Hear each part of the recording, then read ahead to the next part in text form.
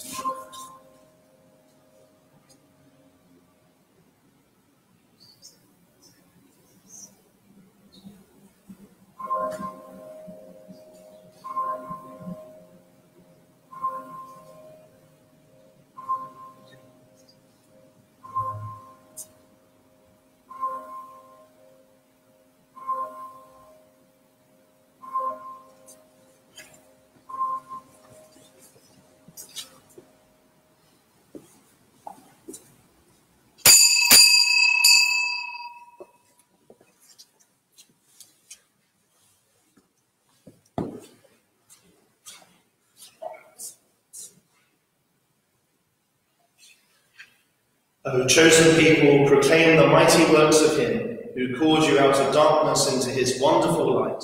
Alleluia. In the name of the Father, and of the Son, and of the Holy Spirit. Amen. The Lord be with you. And with your spirit. This morning's Mass is being offered for the intentions of Stephen Beale, whose 50th birthday it is today. And we pray for all his family, especially for John Quill. We heard the sad news uh, this morning that Anne Higgins, Magella's mother, uh, sadly died uh, yesterday. So we hold the whole family in our prayers. I know all, Magella's already lost her brother. Um, so we really pray to the Lord for some comfort at this dreadful time. And we pray that Anne is now at peace. We also remember in our prayers Christiana, Arabella, Angel, Dastasia, Campbell, a little baby whose 12th anniversary it is today. And we pray for all their family, for Gary, for Maria, for uh, all their loved ones. And also we remember Joseph's mother in Canada, who is unwell at this time. Our parish prayer intention today, following on from VE Day, day yesterday, is for peace in the world. So we bring all our prayers now before the Lord as we begin this Mass and we ask forgiveness for our own failures.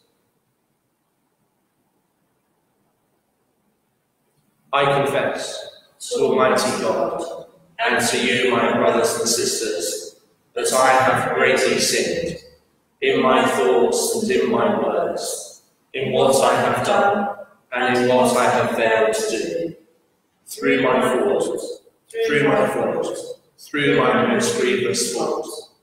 Therefore I ask Blessed Mary, ever Virgin, all the angels and saints, and you, my brothers and sisters, to pray for me to the Lord our God.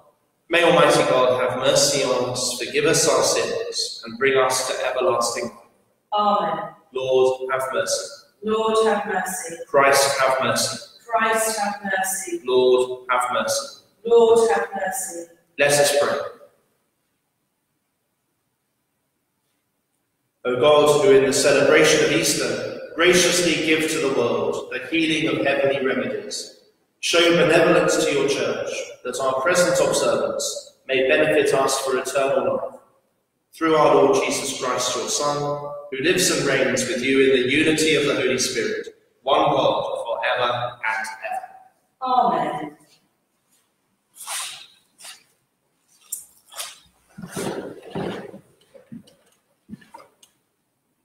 The first reading is a reading from the Acts of the Apostles.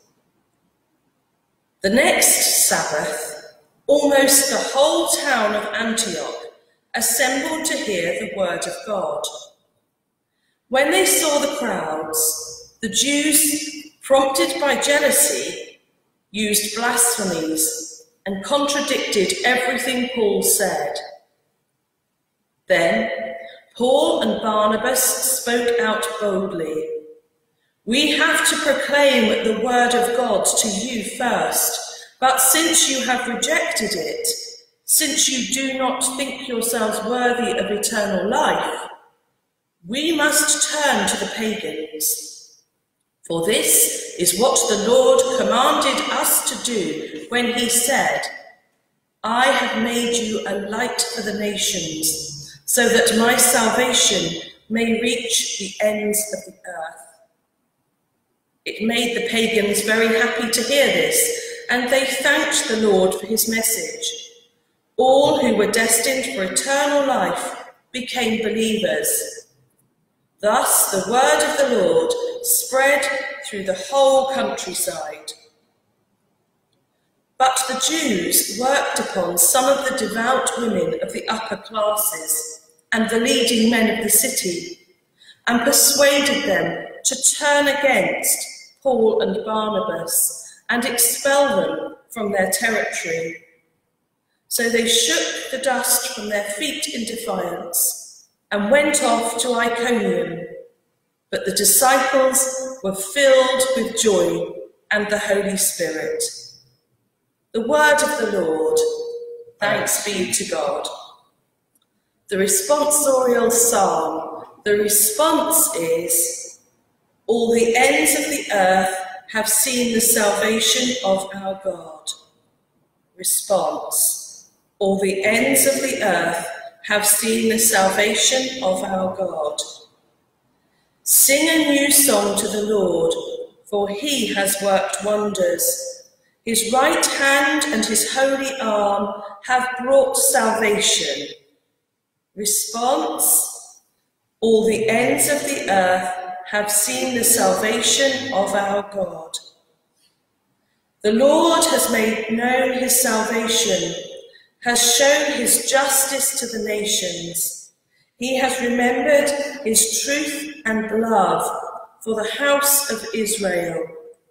Response All the ends of the earth have seen the salvation of our God. All the ends of the earth have seen the salvation of our God. Shout to the Lord, all the earth. Ring out your joy. Response All the ends of the earth have seen the salvation of our God. Please stand to greet the gospel. Alleluia, Alleluia. Christ having been raised from the dead, will never die again. Death has no power over him anymore. Alleluia.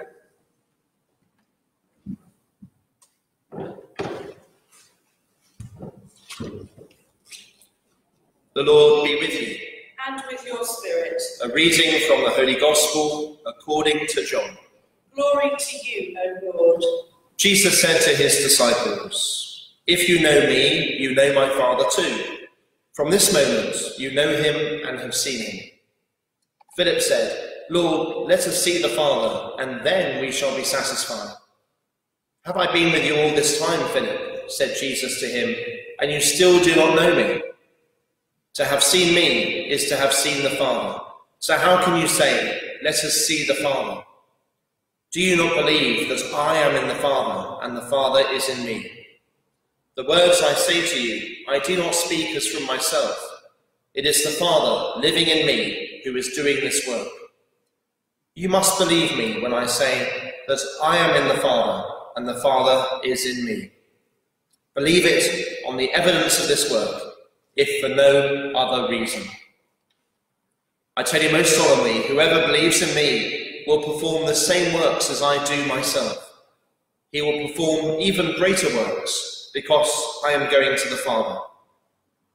Whatever you ask for in my name, I will do, so that the Father may be glorified in the Son. If you ask for anything in my name, I will do it. The Gospel of the Lord. Praise to you, Lord Jesus Christ.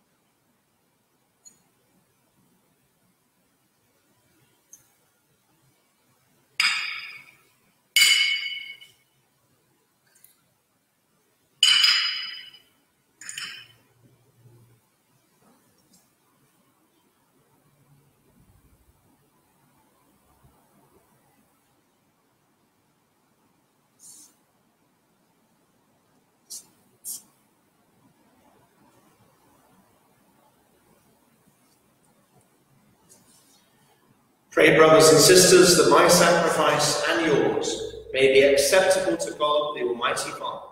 May the Lord accept the sacrifice at your hands for the praise and glory of his name, for our good and the good of all this holy church. Graciously sanctify these gifts, O Lord, we pray, and accepting the oblation of this spiritual sacrifice, make of us an eternal offering to you, through Christ our Lord. Amen. The Lord be with you. And with your spirit. Lift up your hearts. We lift them up to the Lord. Let us give thanks to the Lord our God. It is right and just. It is truly right and just, our duty and our salvation, at all times to acclaim you, O Lord. But in this time, above all, to laud you yet more gloriously, when Christ our Passover has been sacrificed. For with the old order destroyed, a universe cast down is renewed, and integrity of life is restored to us in Christ. Therefore, overcome with paschal joy, every hand, every people exalts in your praise, and even the heavenly powers with the angelic hosts sing together the unending hymn of your glory, as they acclaim, Holy, holy, holy Lord, God of hosts, heaven and earth are full of your glory. Hosanna in the highest. Blessed is he who comes in the name of the Lord. Hosanna in the highest. You are indeed holy, O Lord, the fount of all holiness. Make holy, therefore, these gifts, we pray, by sending down your Spirit upon them like the dewfall, so that they may become for us the body and blood of our Lord Jesus Christ. At the time he was betrayed and entered willingly into his passion, he took bread and giving thanks broke it and gave it to his disciples, saying, Take this, all of you, and eat of it. For this is my body, which will be given up for you.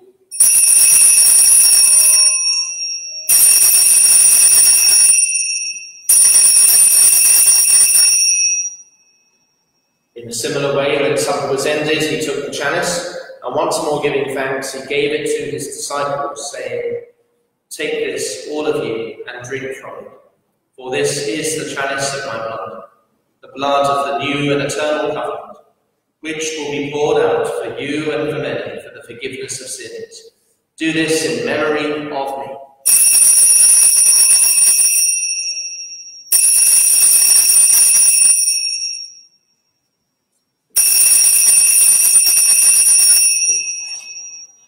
The mystery of faith. We proclaim your death, O Lord, and profess your resurrection. until you come again. Therefore, as we celebrate the memorial of his death and resurrection, we offer you, Lord, the bread of life and the chalice of salvation, giving thanks that you have held us worthy to be in your presence and minister to you. Humbly we pray that partaking of the body and blood of Christ, we may be gathered into one by the Holy Spirit. Remember, Lord, your church spread throughout the world, and bring her to the fullness of charity, together with Francis our Pope and Vincent our Bishop and all the clergy.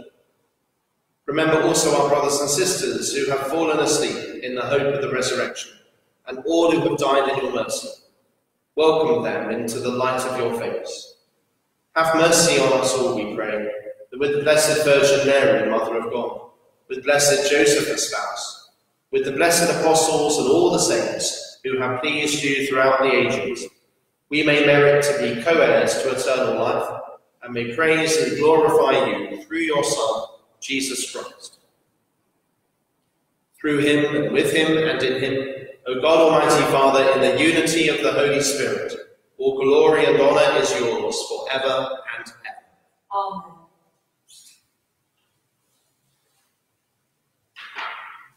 At the Saviour's command, informed by divine teaching, we dare to say, Our Father, who art in heaven, hallowed be thy name. Thy kingdom come, thy will be done on earth as it is in heaven. Give us this day our daily bread, and forgive us our trespasses, as we forgive those who trespass against us. And lead us not into temptation, but deliver us from evil. Deliver us, Lord, we pray, from every evil. Graciously grant peace in our days, that by the help of your mercy we may be always free from sin and safe from all distress, as we await the blessed hope and the coming of our Saviour, Jesus Christ. For the kingdom, the power, and the glory are yours, now and forever. Lord Jesus Christ, who said to your apostles, Peace I leave you, my peace I give you.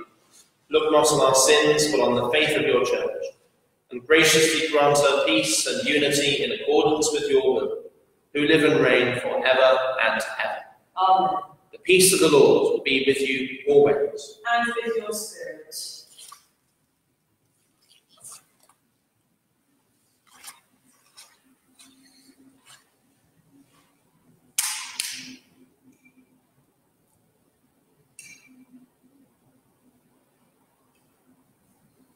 Lamb of God, You take away the sins of the world. Have mercy on us. Lamb of God, you take away the sins of the world. Have mercy on us. Lamb of God, you take away the sins of the world. Grant us peace.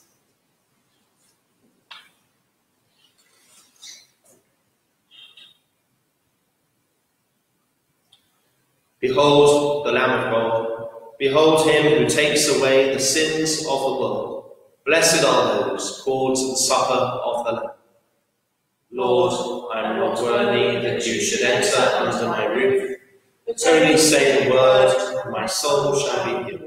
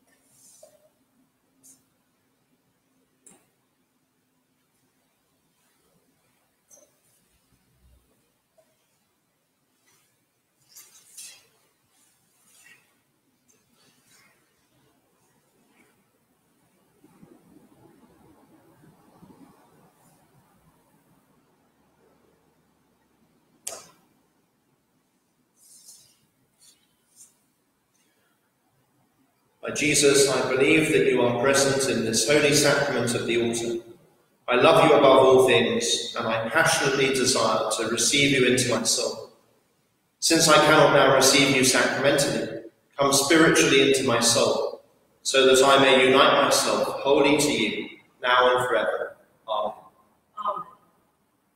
Father, I wish that where I am, those you gave me may also be with me, that they may see the glory that you gave me. Alleluia.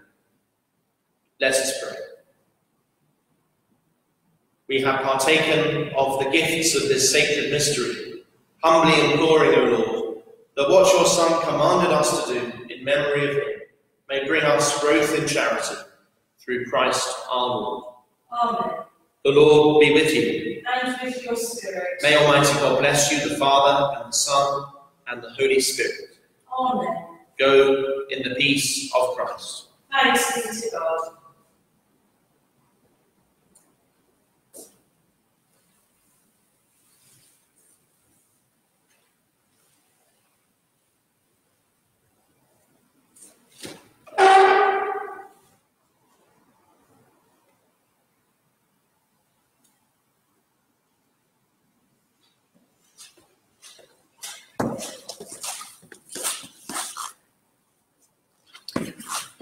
Good morning, everyone. Morning, everybody. Happy Saturdays. Hope you all had a wonderful uh, bank holiday yesterday. Uh, a bit bizarre having it on a Friday, but some wonderful things to watch on TV as the nation came together to commemorate this great anniversary. And we didn't get to see the red arrows. We heard them, but we didn't see them. But I do believe that some of my family over in Staines and going over towards Feltham did manage to see it. So uh, I, I hope some of you did too. So don't forget, tomorrow is Sunday. So as usual, our mass is at 10:30 in the morning, and then we have a holy half hour at four. Before that, though, we'll have our virtual teas and coffees. And Bill, as always, will share that link with you on the Facebook feed and on the WhatsApp group tomorrow morning. So if you can access this, you can access the teas and coffees. You don't have to stay for long. If you don't have time, just click on the link, come and say hi, and you can disappear off. You don't have to sit there for half an hour or 40 minutes, but come and say hi just so we can all see each other again. That would be lovely. Don't forget that the prayer intention for today is peace in the world, following on from the anniversary yesterday. So that's at 12 o'clock, especially. Let's pray for that intention. And it's a good moment to add as well, we, our mass bookings are booked up for about the next three weeks. I think we're booking now into the week of the 2nd of June. So if you would like to book a mass or you've got a particular anniversary in mind or a particular date you would like, do let us know and we can try and get those written in for you. So because mass is still happening even though you're not yet joining us. And obviously, if you did book a mass before the lockdown, um, some of the dates may have been slightly altered, especially if you booked a mass at the weekend, since we only have one mass each day. So thanks for your patience if your mass intention has been moved to a, a slightly later date. Um, and do keep an eye on the newsletter. So we, we have honoured all those masses that were booked. We've just slotted them into different places because we haven't got quite as many masses. Um, now, one of the saddest things I think we need to say today is, um, well, firstly, I want to say hi to Gary and his family who are tuning in every day. I don't know you yet, Gary, but I know you know Father Nicholas very well. well. Parishioners from so, my last parish. Um, and um, and we pray for your intention today, and I look forward to meeting you and the family at a later date. Um, but our condolences have got to go out to Magella and her family today. And we, Magella, we've got no words for you. We really don't. I've got no idea what it feels like right now for your family. But just know we are holding you all in prayer. To have lost your mum and your brother within within the month, um, in the middle of a lockdown, mm. um, abroad, um, your pain must be huge. And uh, but know that your whole church family are holding you in prayer. And if we could be with you, we'd be with you. But one, of the worst things about our ministry is we can't wave a magic wand and fix everything. But all we can do is to say that we're thinking of you, we're praying for you, and we'll offer Mass for all your loved ones. So uh, we're sending you love, Magella, okay? And I know Brian will do absolutely everything to get you back over there again. Now, don't forget Mass is a little bit later tomorrow. And that just leaves us to say it's lovely weather. So do go out and enjoy yourself in the back garden or on the balcony. Stay home still to keep safe. And it just leaves us to say it's a goodbye from me. And it's a goodbye from him. God bless Bye bye.